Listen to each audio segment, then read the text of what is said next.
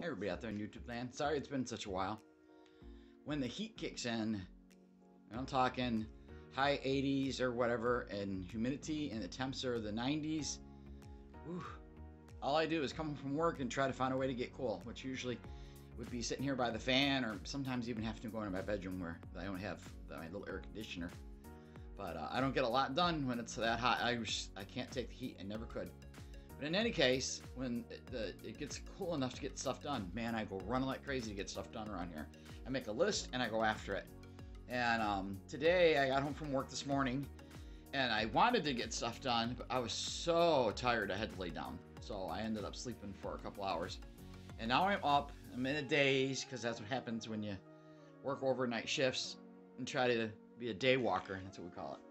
Anyway, I had a topic I wanted to, to talk about aside from showing you um, the, the, uh, the um, clay jack o' lanterns that I'm making, the footstool that I made, not footstool, step stool, uh, and the table that I made with my niece are some of the projects I've, I've done recently. So I'm always doing stuff. Just because I'm not on YouTube doesn't mean I'm not doing stuff. I'm always doing stuff. Um, but one of the things that um, I've been trying to figure out how to bring up in a conversation um, to try to share some tips about possibly, or warnings maybe, is online ordering, which I um, tend to do quite a bit of. And I had discovered that some of the things that we were ordering was coming from China and um, it didn't really point that out clearly uh, when you were ordering things. And I wouldn't know that I had purchased it from China until I clicked pay and um, whatever form it was, um, Amazon or eBay or just uh, something on the internet. And it would, it would say, you have a receipt from Wang Cheng Wu or whatever, and it's all Chinese letters. And I was like, I saw nothing about Chinese when I read the description and where it was from. So I started double checking to be sure, and it would say ships from Louisiana, ships from Kansas, ships from Kentucky, ships from California. And I thought, okay, then we're safe. Nope.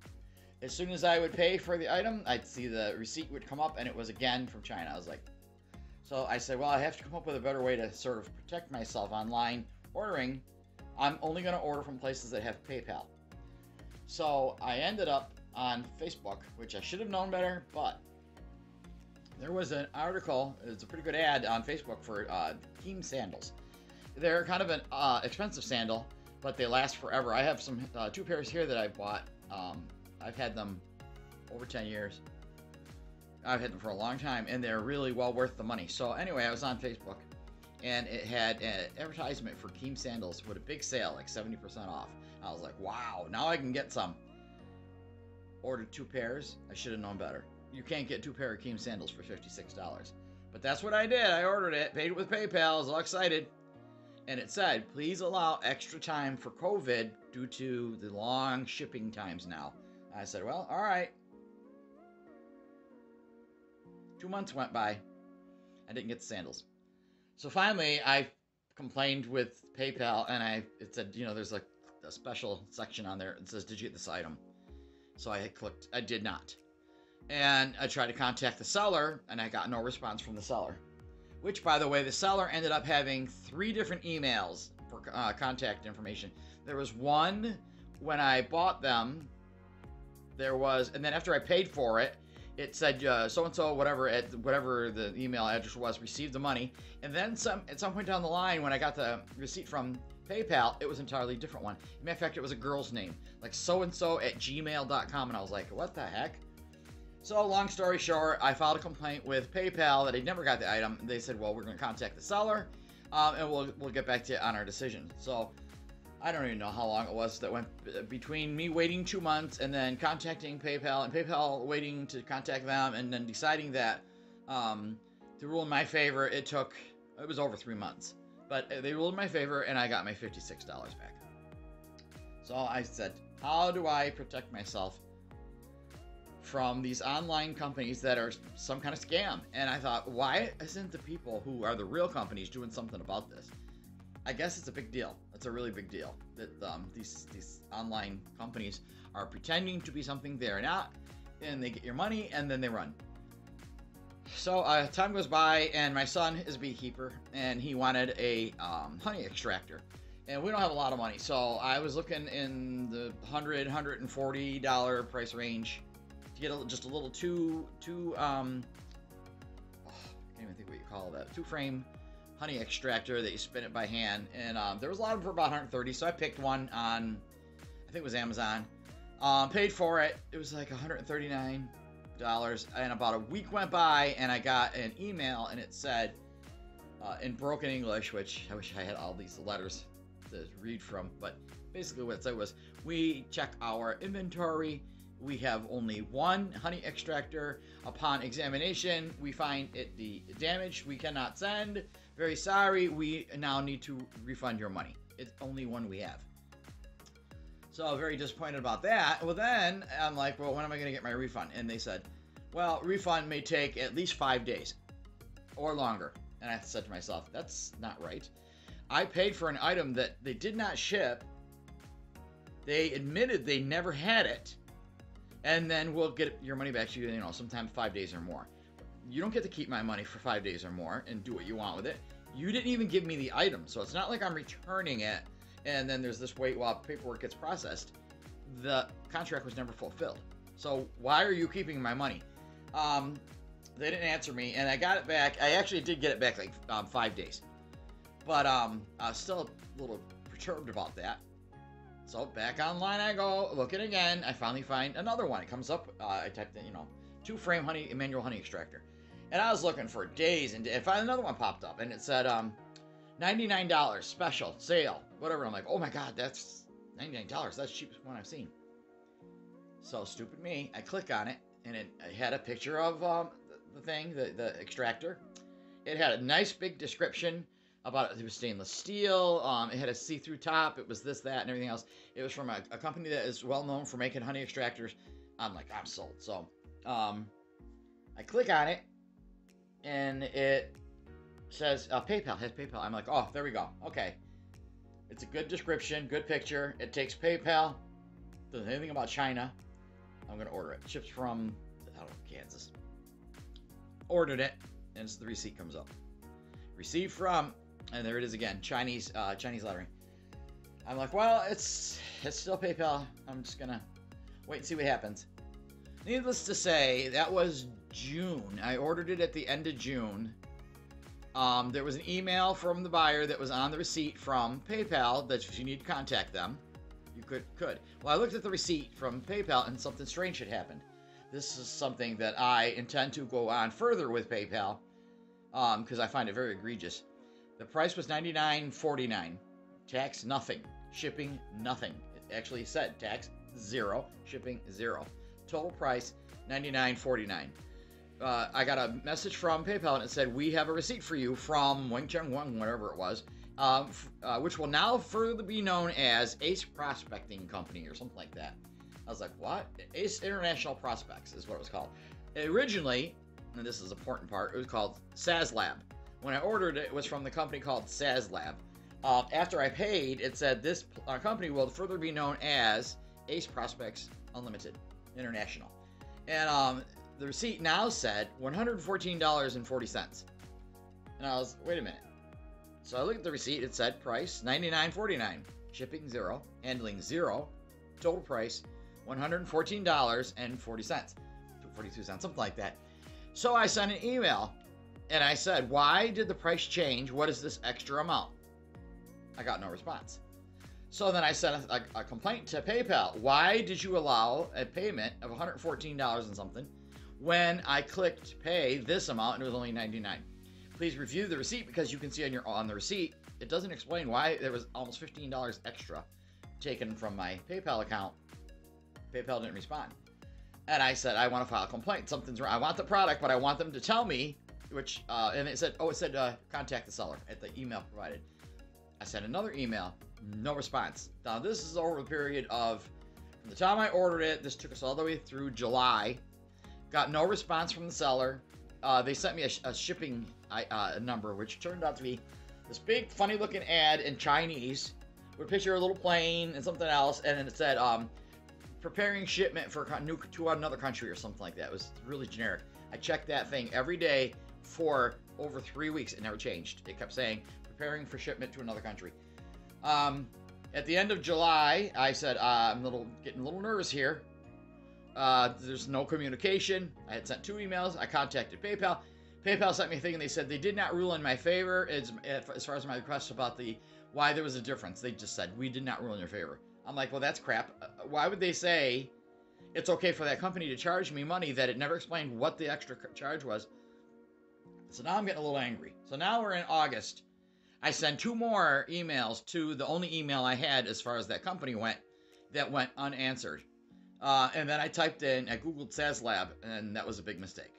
It came up all over the internet as a fake company that often uses United States emailing or uh, United States shipping addresses when in fact it's an overseas Chinese account. Um, they set up these accounts on the internet with uh, thing, pictures and item descriptions that they steal from other sites um, and make their website look to look legit. And then um, they even did went further and got uh, PayPal hooked up. So when I paid, I paid through PayPal to a, a company that shut down I don't know how long it was open before I found it, but obviously it shut down right after I ordered that uh, $114 item. So now I'm really pissed. So I send another email to PayPal and I say I want a file. It's now the middle of August. I, I ordered the item in June, the end of June. Um, I have not received any communication from the seller. Uh, the shipping thing has never changed. It's been the same for over a month. Um, it's not. It's a bogus shipping uh, tracking number system. And um, and so I filed an official complaint, and of course PayPal says, "Well, we'll investigate. We're going to give the seller X amount of time. We'll get back to you." So you know, weeks later, um, I finally get a thing that says they've ruled in my favor. Now this is September. I just got it the other day. So from the end of June until uh, the first week of September, this is how long I've been fighting over this thing, and I got no response from PayPal as to why they authorized that um, additional payment that was never explained. I didn't okay it. So they've been mute about that. Um, and then, of course, the fact that how did this happen? That people can just set up a, an account that's fake and you send your money for items that don't exist, never did exist. Um, at some point, though, I uh, had seen the exact picture of the item I bought, tried to buy, um, and a description from some other site on Amazon. They actually had just like photoshopped the whole ad and put it on their own uh, fake website. So now I'm thinking, how in the world do you protect yourself online if A, you can't tell if it's really from the United States or not? B, they don't tell you the name of the seller, the real name, until you get your receipt in, you know, the email.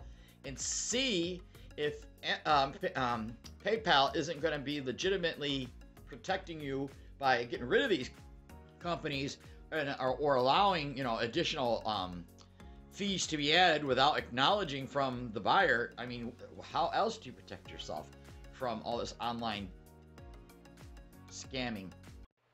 So I guess the only tips I have as far as online ordering is I still am making sure that they accept PayPal as a form of payment because at least I have some assurance that should something go wrong, PayPal uh, will stand by their um, promise to protect the consumer. And like, like I said, with the two things that I ordered, luckily I was able to get my money back, even though I went through the stress of, you know, not getting the product that I thought I was getting. Um, and then to stay with sites that are more um, more well known, like for instance, don't order things off of Facebook.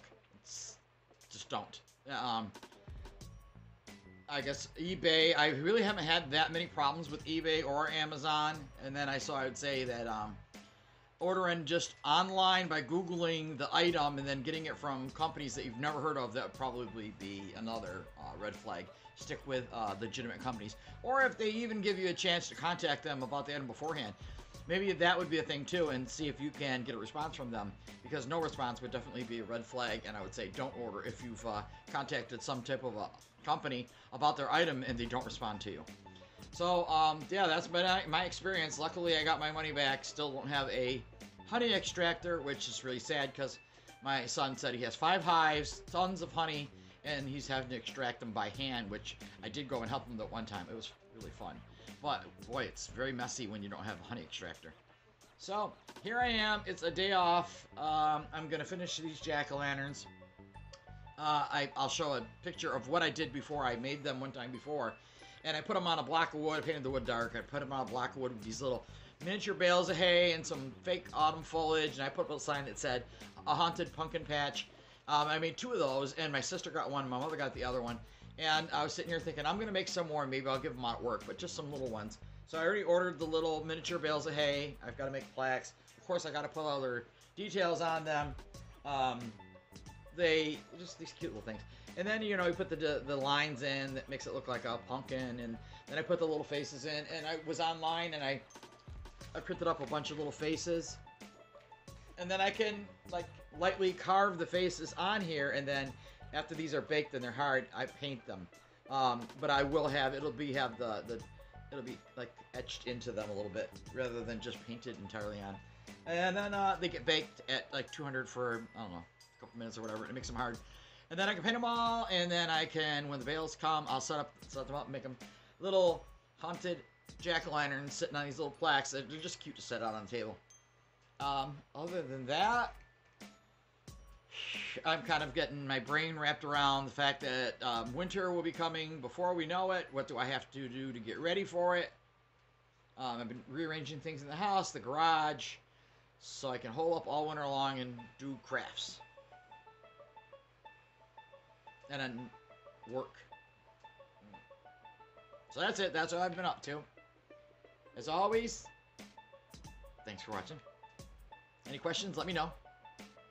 Sorry it's been so long. But it was kind of hard to figure out how to explain all this stuff about PayPal and the ordering of things, and I couldn't get my brain to. Sometimes my brain just doesn't want to work. My niece had been shopping for a table to put in her room to put her computer on. She couldn't find anything she liked, but she knew the measurements, so we discussed uh, 2x4s. So she went shopping, got the 2x4s. I chopped them up, assembled a desk. She sanded it for about two days straight, put some stain on it. I threw some wheels on it, and voila, she was very happy. This is my little uh, step stool project. I uh, needed to reach some stuff on the wall to hang, and as I get older, I get shorter. Didn't want to have to drag a ladder in all the time, so I made myself this cute little step stool out of 2x4s. And a few other scrap pieces of wood I had.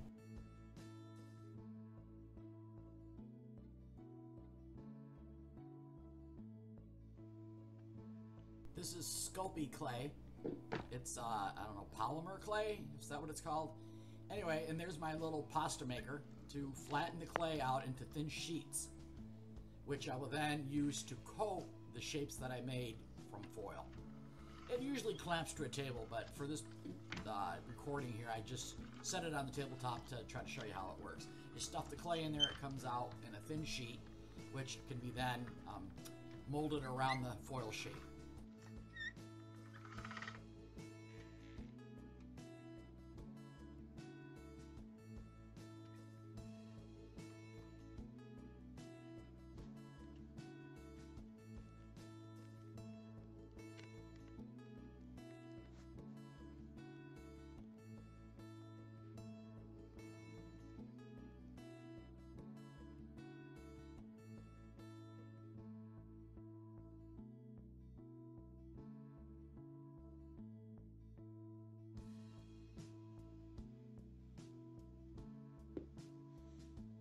For these ones, I scratched the faces in with a pointy little sharp thing.